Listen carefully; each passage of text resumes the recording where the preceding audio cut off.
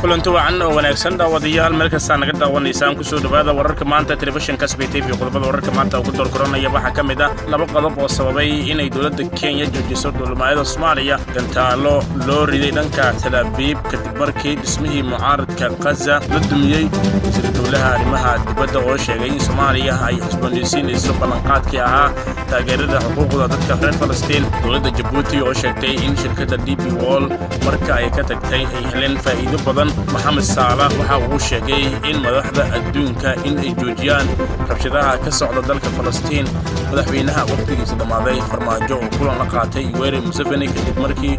uu shalay gaaray dalkaas. Qodobadaas iyo kuwo kale oo faahfaahsan u diyaargaroowa waa maalinimo arbacaha taariikhdu ay ku beegantahay bisha may labada kun iyo koob iyo labaatan kulli soo dhowaada qodobadaas iyo kuwo kale oo dhammaystiran ayna ku bilowna dowladda kenya ayaa shalay soo saartay go'aan ay ku jihaynayso duulimaayada ka yimaada soomaaliya. Marka laga reebo duulimaayada caafimaadka iyo kuwa gargaarka bini'aadanimo si rasmi a looma shaacin sababta go'aanka hase yeeshee waxaa la sheegay in joojinta ay jiri doonto muddo saddex bilood ah waxayna ku soo aaday saacado un kadib markii ay soomaaliya sheegtay in aysan fasixin qaadka ka imaan jiray dalka kenya. Xogta aan hadnay ayaa tilmaamaysa in kenya ay u joojisay laba arrin oo kale ah kow. In dowladda soomaaliya aysan fasixin qaadka ka yimaado dalka kenya oo sannadkii malaayiin lacaga ka hesho dowladda kenya wararku waxay sheegayaan in nin la dhashay madaxweyne farmaajo oo lagu magacaabo xasan farmaajo iyo caliyare cali ay dalka keenaan qaadka etoobiya dartoodna loo joojiyey kan kenya qaadka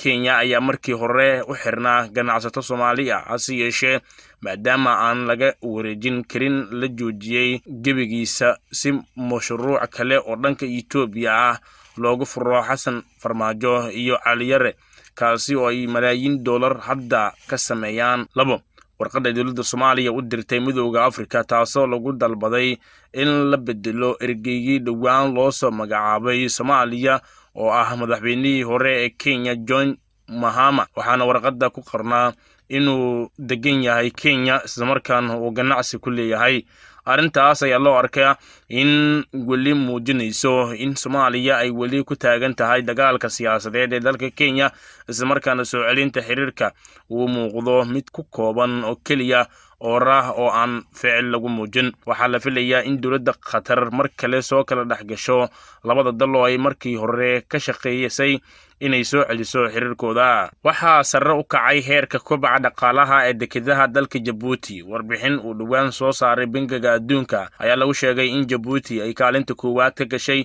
maalgashiga dekedaha afrika halka kaalinta lixdan iyo koowaad ay ka gashay caalamka oo dhan. Agaasimaha dekedaha jabuuti abuukar cumar haadi ayaa sheegay in horumarka dekedaha dalkaas ay dadaal dheer u gashay sar uqaadidda ganacsiga iyo maalgashiga. Agaasimaha ayaa waraysi uu siiyey warbaahinta waxa uu sharxay sida ay u arkaan qiimeynta bangiga adduunka. Dhinaca kale agaasimaha ayaa waxa uu sheegay in horumarka laga gaaray dowladda jabuuti ay sababtay kadib markii shirkadda d b oo ay maamusho dekedaha qaar ka mid a caalamka ay ka guurtay dalka jabuuti. Sidaasna ay ku heleen faa'iido laba jibaar ah madaxweynaha wakhtiga ka dhammaaday ee dowladda federaalk soomaaliya maxamed cabdulaahi farmaajo ayaa kulan duceed la qaatay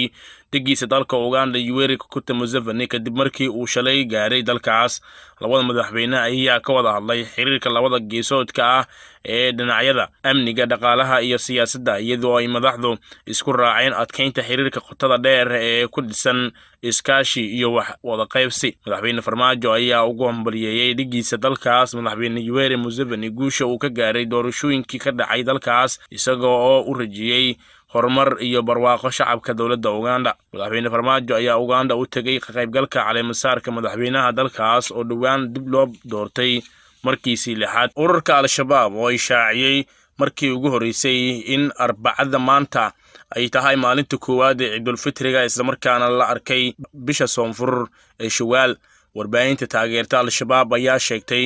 in ilaa siddeed qof oo ku kala sugnaa gobollada hiiraan gedo baay iyo bakool ay xaqiijiyeen in ay arkeen bisha soonfur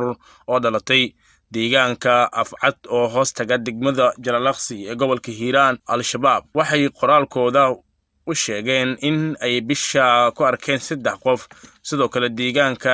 yasoomaan oo hoos taga degmada buulo burte ee isla gobolka hiiraan waxaa bisha ku arkay hal qof sida lagu sheegay qoraalka kooxda al-shabaab. Sidoo kale duleedka degmada xudur ee gobolka bakool ayay sheegeen in ay bisha ku arkeen laba qof halka deegaanka tuulo barwaaqo oo ka tirsan gobolka gedo ay bisha ku arkeen ilaa laba qof sida lagu sheegay qoraalka al-shabaab arrintan ayaa ku soo aadaysa xilli dalalka islaamka oo ugu horreeya dalka sacuudiga oo lagu arki jiray inta badan bisha iyo dowladda soomaaliya ay shaaciyeen in ay maanta ay tahay maalinta soon ee ugu dambaysa. Haatanna falastiin. Maalmihii ugu dambeeyey waxaa rabshadaha ka socday dalka falastiin gaar ahaan masaajidka barakaysan ee qudus oo ay isku haystaan dadka yahuudda ah iyo muslimiinta halkaasi degan masjidkan qudus oo ay dadka inta badan ku tukaneen salaada tahajudka oo la tugdo tobanka dambe ee bisha barakaysan ee ramadaan laguna jiro maalmihii ugu dambeeyey ee bisha barakaysan ramadaan. Ayaa maalmihii ugu dambeeyey waxaa ka dhacayay rabshado isugu jira duqaymo iyo weliba ficilo kale oo ay samaynayaan yahuudda iyo weliba dadka muslimiinta ee ku nool qudus dhanka kale habeen hore ayaa waxa ay duqaymo ka bilowdeen dalka falastiin marinka khaza iyadoo halkaasi ay ku dhintay dad aad u fara badan. Dadka falastiiniyiinta ayaa waxaa ku geeriyootay ilaa iyo soddon qof halka toddoba boqol oo qof oo dhaawac ah ay yaalaan goobaha caafimaadka ee ku yaalla marinka khaza dhanka kale xalay oo ugu dambeysay ayaa waxaa labada dhinac ay isu wadaarsadeen duqaymo aad u waaweyn oo markii loo barbardhigo dagaaladii soo maray dalkaas ama dalalkaas falastiin iyo weliba yahuudda loola sheegay in ay ahaayeen duqaymihii ugu culsaa ee la iskula wadaago labada kooxood ee xamaas iyo weliba dalka israa'iil. Xamaas ayaa xalay dalka israa'iil waxay u tuurtay ilaa iyo boqolaal gantaalo ah oo loogu talagalay in ay iskaga caabiyaan weerarka yahuudda ay ka soo qaaday dhulka falastiin iyadoo xalay magaalada talaabiib ee dalka israa'iil oo caasimadda u ah ay ku dhaceen duqaymo waaweyn ayna ku geeriyoodeen ilaa iyo laba haween ah. Halka ay ku dhaawaceen ilaa iyo boqol qof sida ay sheegeen warbaahinta carabta iyo warbaahinta ka soo baxda dalka israa'iil. Arrintan ayaa waxay sababtay kadib markii ay iska hor imaadyo ka dhaceen masaajidka barakaysan ee ku yaalla magaalada qudus oo masaajidkaas lagu magacaabo qudus ahna qibladii ugu horreysay ee islaamka. Dhanka kale waxaa burbur xoog leh soo gaaray qaar ka mid a meelaha ay ka dhaceen duqaymaha magaalada talaabiib iyo waqooyiga dalkaasi israa'iil. Magaalada talaabiib ayaa maanta waxaa la xihiray duulimaayadii diyaaradaha ee tegi jiray dalkaas iyadoo loo xiriiray xaalado amni darteed. Dhanka kale ra'iisul wasaaraha israa'iil benjamin netanyahu ayaa waxa uu u sheegay in ay adkayn doonaan. Weerarka looga hortegayo dadka muslimiinta ah ee ku nool daanta galbeed ee khaza ama falastiin iyadoo ay sheegeen in ay ugu diyaargaroobeen ilaa iyo siddeetan diyaaradaha dagaalka helikobterka loo yaqaan oo ay ugu talagaleen in ay ku daqeeyaan dalka falastiin. Dhanka kale waxay sheegtay israa'iil in ay duqaysay dabaq ka kooban ilaa iyo saddex iyo toban biyaano kaa oo ay markaasi ay ku sheegeen in ay hub iyo weliba xafiisyo ugu yaaleen kooxda xamaas dhanka kale qaybaha kala duwan ee bulshada caalamka ah ayaa waxa ay ku baaqeen in la joojiyo dagaalka lagula hortegayo dadka falastiiniyiinta ee ku nool marinka khaza ciyaaryahanka liverpool iyo masar maxamed salah wuxuu ugu baaqayaa hogaamiyaasha adduunka inay hubiyaan in rabshadaha iyo dilka dadka aan waxba galabsan si deg dega u joojiyaan. Siddeed iyo labaatan jirkan kubadda cagta ee reer masar ayaa in ka badan afar iyo toban dhibic saddex milyan oo taageerayaal ah ku leh barta twitterka waxaana bartiisa twitterka lagu wadaagay kumanayaal jeer daqiiqado gudahood. Faylka beta paul reuters ciyaaryahanka liverpool maxamed saalax ayaa ugu yeeray hogaamiyaasha adduunka inay wax walba karaankooda ah sameeyaan si loo joojiyo dilka dadka aan waxba galabsan taas oo u muuqatay in ay tixraacayso xiisadda sii kordhaysa ee falastiin halkaas oo ugu yaraan soddon qof oo ay ku jiraan carruur ay dileen weerarada israa'iil. Codsiga saala wuxuu yimid kadib markii militariga israa'iil ay sii wadeen duqaymaha ay ka wadaan marinka khaza talaadii iyagoo bartilmaamaysanaya dhowr goobood kadib markii gantaalo laga soo ganay falastiiniyiinta ayaa u barordiiqaya dadkii ay jeclaayeen markii israa'iil ay garaacday gaza carab league. Waxay cambaarinaysaa duqaymaha cirka ee israa'iil ay ka wado gaza rakaab loo ridayo dhanka talaaviib kadib markii la burburiyey daarihii gaza. Garabka hubaysan ee xamaas guutada al khasam ayaa talaaviib ku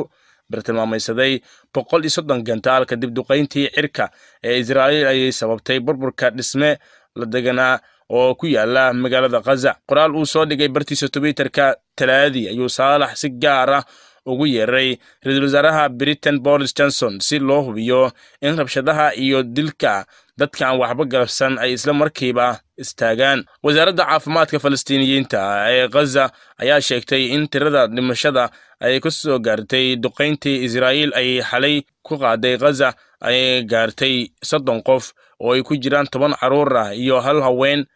boqol iyo konton labo qof oo kale ayaa sidoo kale dhaawacmay. Wadarta guud markii la isku dararo waxay gaarayaan soddon qof oo dhimasho ah halka toddoba boqol qof oo dhaawac ay yaalaan isbitaalada kala duwan ee marinka khaza intaas ayaan ku soo afmeerina warkaad kala socoteen telefishinka sb t v. Inta warkan war lamdan ku kulmi doono waxaa idinkaga tegayna sida ay nabadgelyo